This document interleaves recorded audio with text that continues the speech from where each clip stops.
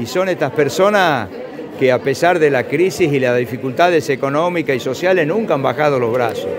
Y son ellos los emprendedores, son ellos los artesanos y nosotros como gobierno de la provincia siempre acompañando, acompañando desde la capacitación hasta entregándole los elementos para que ellos puedan llevar adelante la actividad que ellos deciden. Por eso estamos entregando equipamiento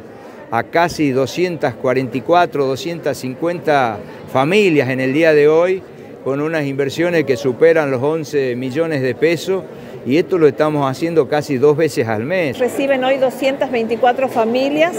11 millones 700 mil pesos y eso eh, lo invierten, por supuesto, a través de microcréditos o microemprendimientos para la compra de herramientas, de materiales, de insumos.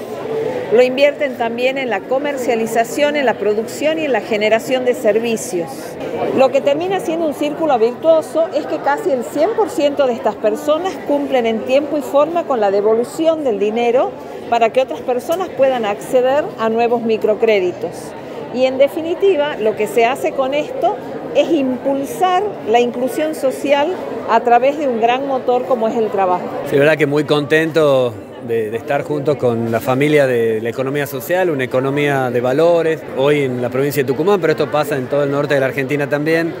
eh, con recursos nacionales, con recursos provinciales, en donde se ayuda a gente talentosa, honesta, trabajadora, creativa,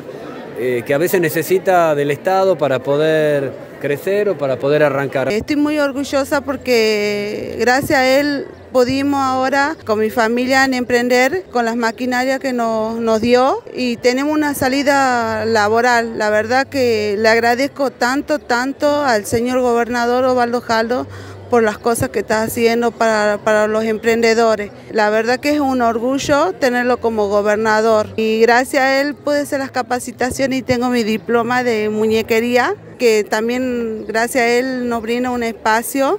a las chicas del potencial. Que ellos son el espejo de mucha otra gente que por ahí no tiene la suerte de tener un trabajo digno, no tiene un ingreso mensual y la verdad que hoy da gusto ver todas las familias acá presentes que algunas se van con un microcrédito, otras se van con un equipamiento y seguramente cada 15, 20 días, todos los meses estamos repartiendo y distribuyendo este tipo de elementos que no hay duda, que le cambia la vida a mucha gente.